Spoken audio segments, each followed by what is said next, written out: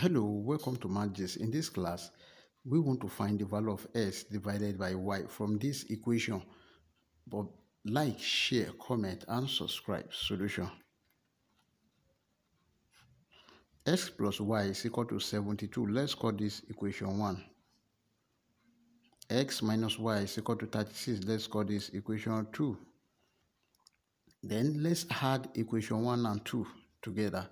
That is x plus y plus x minus y is equal to 72 plus 36.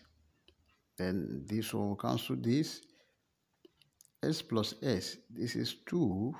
x is equal to 72 plus 36. 108. Now let's divide both side by 2. Divided by 2. Divided by 2. This one will cancel this. 2 here, 1. 2 here, 54. X is equal to 54. This is the value of x. Let's substitute for x in either equation 1 or equation 2.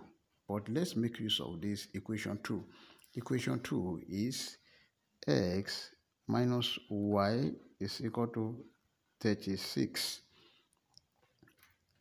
x is equal to 54.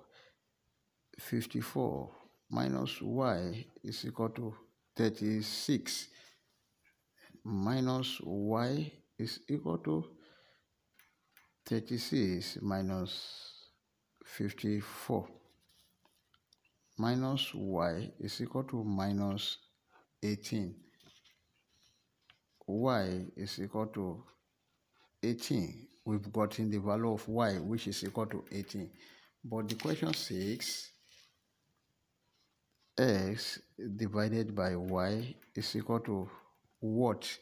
So we know our x which is 54 divided by y 18 this is equal to 54 over 18 18 here 1 18 here 3 x divided by y is equal to 3 this is the final answer. Before you leave like share comment and subscribe. Thank you. Bye bye